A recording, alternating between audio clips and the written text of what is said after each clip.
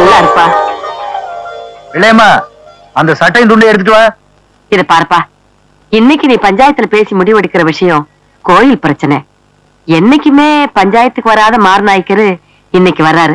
அவர் ஏதாவது அப்படி இப்படின்னு பேசினா கூட நீ கொஞ்சம் அனுசரணையா பேசி நல்ல முடிவு எடுத்துக்கிட்டு வாப்பா. அம்மா எனக்குன்னு ஒரு ஜாதி எனக்குன்னு ஒரு அந்தஸ்து எனக்குன்னு ஒரு மரியாதை இருக்கு.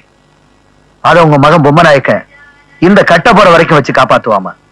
என்னம்மா அது முகத்தை மூடிட்டு வர்ற?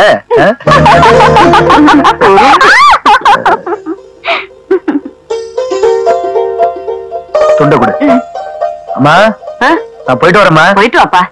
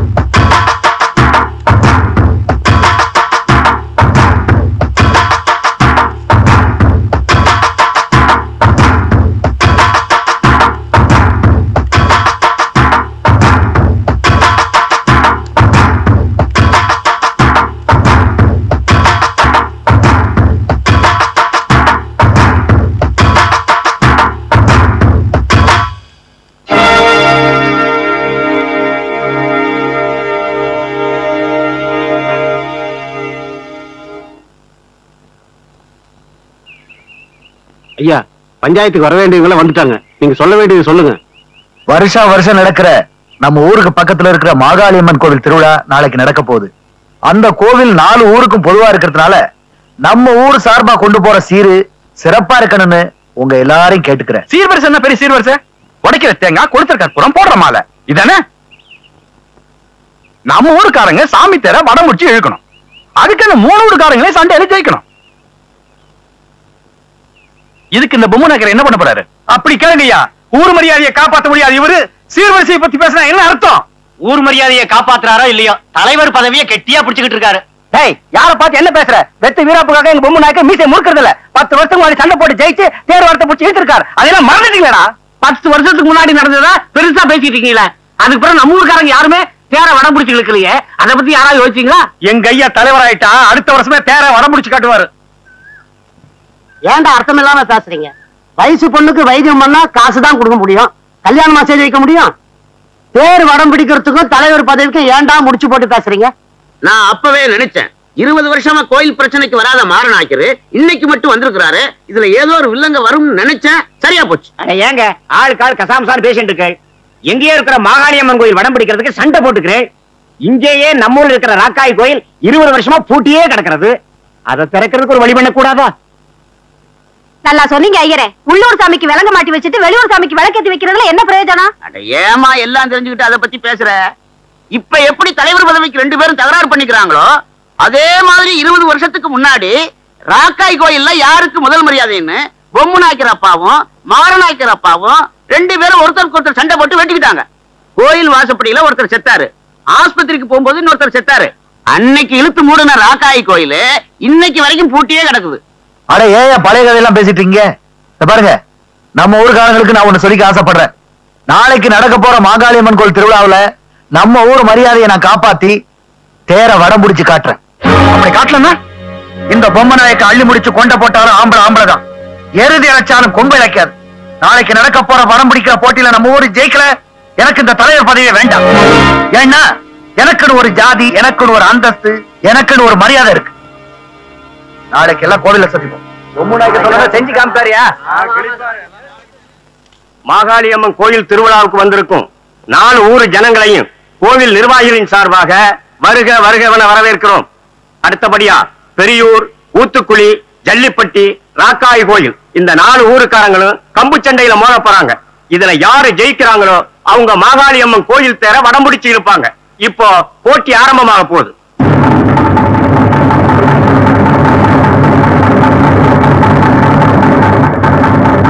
போன வருஷம் போட்டியில ஜெயிச்ச பெரியூர் வீரர் கூட இப்ப ஜல்லிப்பட்டிக்காரர் மோதுவார்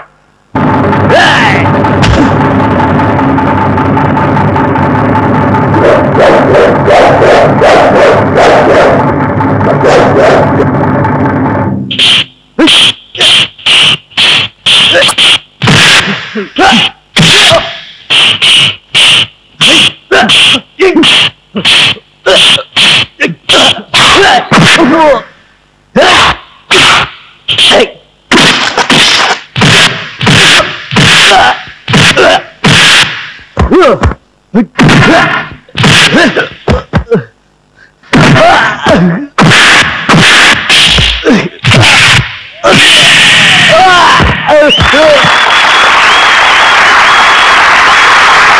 அடுத்தபடியா ஜல்லிப்பட்டிக்காரர் கூட ஊத்துக்குழிக்காரர் மோத போறார்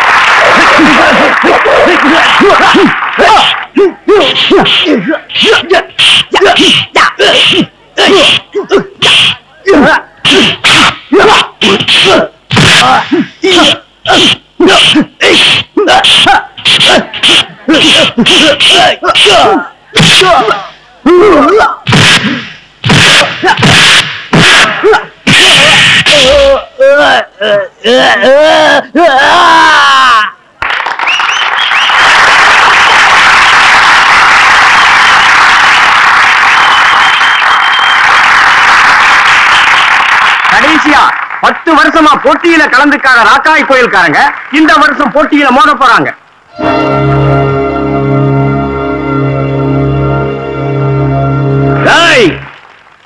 ராக்காய் கோயில்ல எவனுமே ஆம்பளைங்க இல்லையாடா?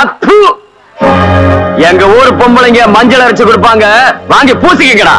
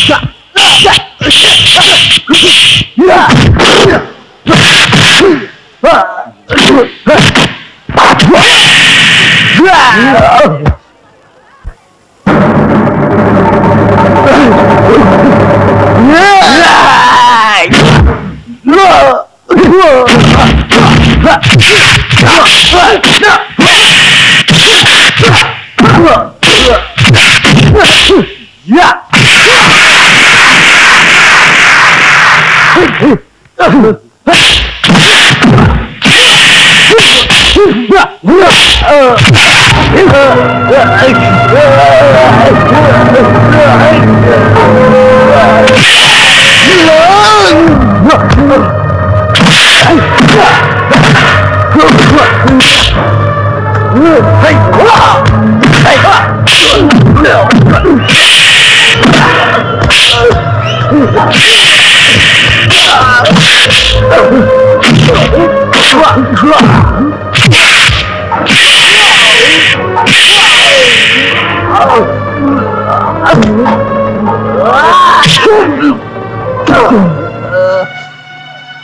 Yeah!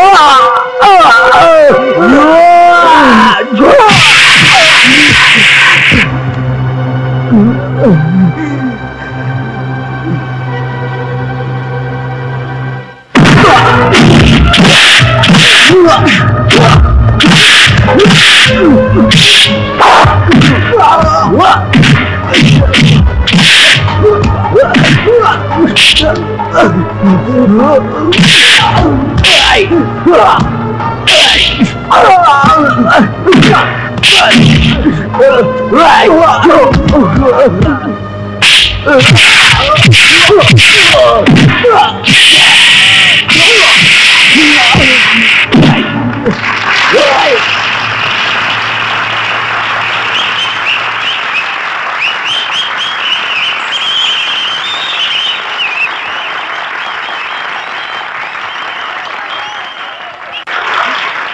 வள்ளி உன் மகனுக்கு இந்த தைரியம் எங்கிருந்து வந்தது?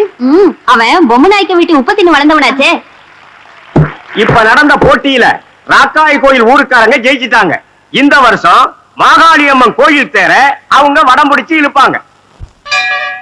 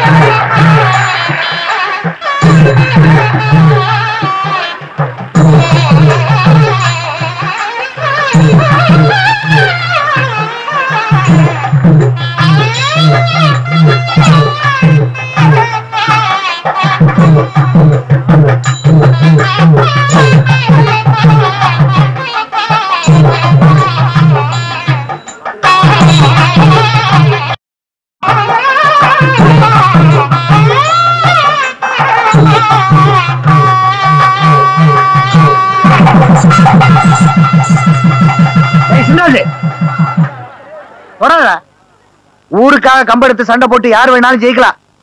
ஆனா தேர வடம் பிடிச்சி இழுக்கிறதுக்கு ஒரு அந்தஸ்து ஜாதி வேணும். போடா அந்த பக்கம். சொல்றேன்னா போடா.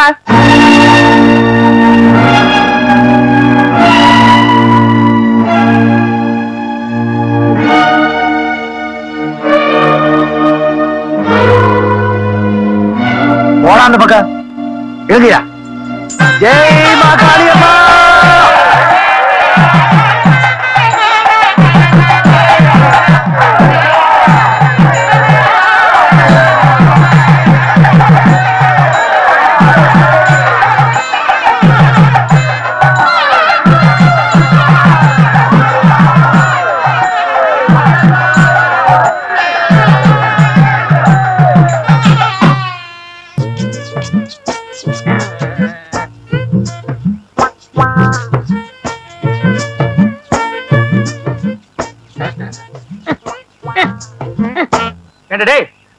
அது என்ன சோப்பு டப்பா நினைச்சியா? இல்ல சுண்ணாம்பு இருக்கிற பக்கெட் நினைச்சியா? இந்த கலை கலக்கிற அட சும்மா இருக்கண்ணே எவ்வளவு கஷ்டமா இருக்கு தெரியுமா? நீங்க ஒரு தடவை செஞ்சு பார்த்தா தெரியும். எதுக்கோ மிஷினை கண்டுபிடிச்சிருக்காங்க. இதுக்கு ஒரு மிஷின் கண்டுபிடிக்க கூடாதா ஒரு கிரைண்டர் வாங்கி சொன்னா எப்படி ஆட்டலாம்? வாங்கிட்டு வரீங்களா? நீ ஆர்டர் ஆர்டருக்கு கிரைண்டர் பத்தாதடா. ஒரு செக் கொண்டு கொண்டு வந்து போடுறேன். அதுல போட்டு ஆட்டி அவர் மூஞ்சில எடுத்து பூசில அப்பு. லோல்னு பாருங்க சாமி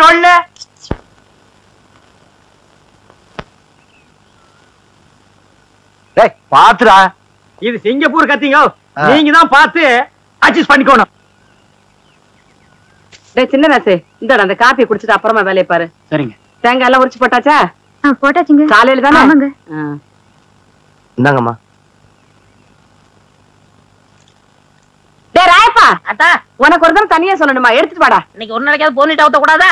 போனு விட்டாவா?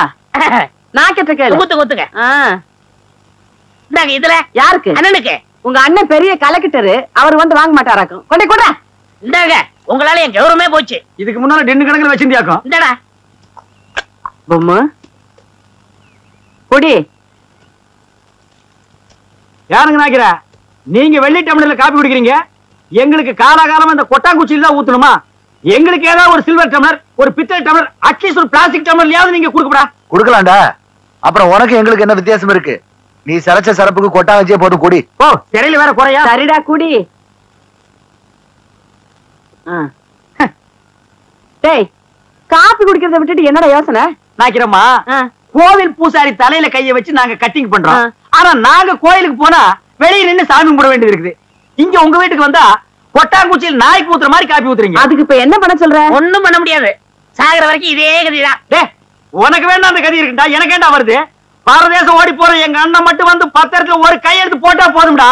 தரிசா கிடக்கிற நாற்பது ஏக்கர் நிலத்துக்கு நான் தான்டா சொந்தக்காரன். அப்புறம் என் லெவலே வேறடா. என்ன லெவலு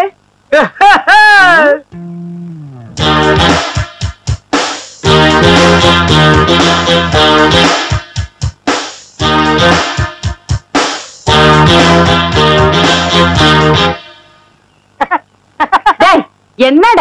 இல்ல ஒரு சின்ன கற்பனை. நாற்பது ஏக்கர் என் கைக்கு வந்தா எப்படி உட்காரலாம்னு நினைச்சு பார்த்தேன். பத்து வருஷமா நீ இதே தான் சொல்லிட்டு இருக்க. நாக்கிரமா உங்க பேர் என்ன? அக்கம்மா நீங்களும் பிறந்ததுல இருந்து தான் சொல்லிட்டு இருக்கீங்க நானும் அப்படியே தான் சொல்லிட்டு இருப்பேன் டேய் வாடா போலாம். என்னடா வேலையெல்லாம் முடிச்சிட்டியா? என்னது கொளுத்து வேறையா செங்கல் சிமெண்ட் வச்சு பூசுறதுக்கு. கொஞ்சம் முளைச்சிருந்து சிறைச்சாச்சு வாடா டே டேய் கண்ணாடி இந்தாடா. கண்ணாடி நீ வாங்கல நீ. கண்ணாடி. இத தூக்குறத சாமி இத கூட்டி வர? ஒவ்வொரு இடத்துல கண்ணாடி மிஸ் பண்றான் அன்னைக்கு இப்படி அந்த மாரனாக்கு விட்டு கொண்டு போனா அந்த ஆள் எடுத்து வச்சு கொடுக்க மாட்டேன்டா நீங்க நல்லவங்க கொடுத்தீங்க. திருட்டு ஆகிவிட்டு போகாத. திருட்டு ஆகிவிட்டு போனா தான் நடக்கும். பாப்பா என்னப்பா நாட்டு நடவெல்லாம் நட்டாச்சா? ஆமா. நடவு நட்டாச்சா நாத்து புடிங்காச்சான்னு மட்டும் கேளு. மனுஷனுக்கு பசி நேரத்துல சாப்பாடு கொடுத்து அனுப்பணுமேனு அப்பத்தாளுக்கு பேசி தெரியவானா? இது கூட செய்யாம வீட்டுல ரெண்டு பேரும் என்ன பண்ணிட்டு இருக்கீங்க? என்னது. சாப்பாடு கொடுத்து அனுப்பணும். என்னடா விளையாடுறியா? வெள்ளை கிட்ட சாப்பாடு. தன்னு, பி, பி. வெள்ளையம்மா கிட்ட சாப்பாடு கொடுத்து அனுப்பணும்னு தான் நினைச்சுக்கிட்டு இருந்தேன். இது சாப்பாட்டை எடுத்தும் வச்சேன். அதுக்கப்புறமா இந்த ராமாத்தா கூப்பிட்டுட்டாளேன்னு போயிட்டேன். அப்புறம் இந்த குட்டி சிரிக்கி என்ன பண்ணாங்கிறது தெரியல. அவளை நான் அப்புறம் பேசிக்கிறேன். இப்ப உனக்கு சாப்பாடு தானே வேணும்? காலைல நல்லா கழுவிக்க. கையெல்லாம் கழுவிட்டியா. சாப்பாடா இல்ல நம்ம வீட்டுல வா ஆ, ஆ. கழுவிட்டே இல்ல? போறோம், போறோம், போறோம். அங்க, வா. சீக்கிரம் நீ வந்து போ, சாப்பாடு நீ போ.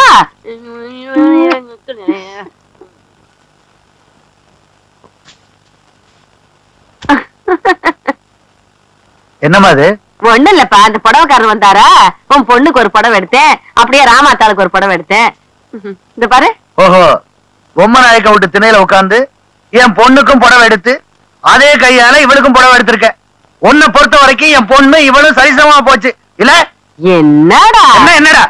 ஒரு தகுதி வேணாம் ஒரு தரவாரம் வேணாம் ஏய் அதுதான் எடுத்து குடிச்சுன்னா உனக்கு எங்க போச்சு புத்தி? புடவை எடுத்து அந்த பக்கம் போ. ரோஷம் பொத்துக்கிட்டு வருது. என்ன நினைச்சிட்டு இருக்க நீ? இந்த வீட்டுல நான் எதை செஞ்சாலும் யாருக்கு பிடிக்கிறதே இல்ல. இப்ப என்ன நினைச்சு இப்படி கால் முள்ளு கத்துற? எல்லாம் என் தலையெழுத்து. நான் செய்யறத யாருக்கு பிடிக்கலையே? நான் மட்டும் எதுக்கா இருக்கணும்? நான் எங்க அம்மா அப்பதான் பாரு எங்க அம்மா வீட்டுக்கு. நீயாச்சும் ஒப்பனாச்சு. போங்க. ஏன் அப்படி திட்டுறீங்க? அப்பட்ட வேற கோச்சுக்கிட்டு அவங்க அம்மா வீட்டுக்கு போறேன்னு சொல்லுது. எங்க இருக்குது அவங்க அம்மா அப்படி எனக்கு தெரியாது. போகல. போமா கோச்சுக்கிட்டு போறாங்க ஒரு படவை. ஒரே ஒரு படவை. அதை எடுத்து கொடுக்க கூட எனக்கு வீட்டுல உரிமை இல்லாம போயிடுச்சு. எல்லாம் பெரியவங்க ஆயிட்டாங்க பேசுறாங்க. மூக்கு சளியை சிந்தி சிந்தி சட்டையில தொடச்சுக்கிட்டதையும் கோவணம் கட்ட தெரியாம இருந்தப்ப கோவணம் கட்டி விட்டதையும் மறந்துட்டாங்க போல இருக்கு. பெரியவங்க பெரியவங்க. நான் போறேன் போறேன். என்கிட்ட பேசாதடா.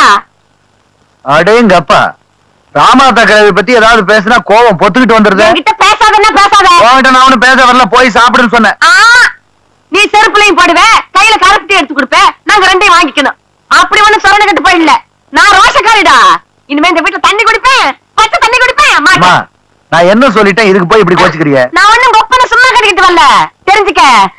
பத்து வில்ல வண்டி நிறைய வீட்டு சாமான்களை ஏத்துக்கிட்டு சந்தனப்பட்டி நிறைய கட்டுக்கட்டா செலவ நோட்டுகளா வச்சுக்கிட்டு கழுத்து நிறைய நகைகள் அள்ளி போட்டுக்கிட்டு சந்தைக்கு போக சின்னால பட்டு கண்ணாத்துக்கு போக காஞ்சிபுரம் பட்டுன்னு அந்த காலத்திலேயே லட்ச ரூபாய் சொத்து மதிப்போட இந்த வீட்டுக்கு மருமகளா வந்தேன் அப்படி வந்த எனக்கு இன்னைக்கு மரியாதை இல்லைன்னா நான் எதுக்கு பேசணும்? நான் எதுக்கு சாப்பிடணும்? சாப்பிட மாட்டேன்டா போடா நீ சாப்பிட்டாலும் சரி சாப்பிடாம போனாலும் சரி.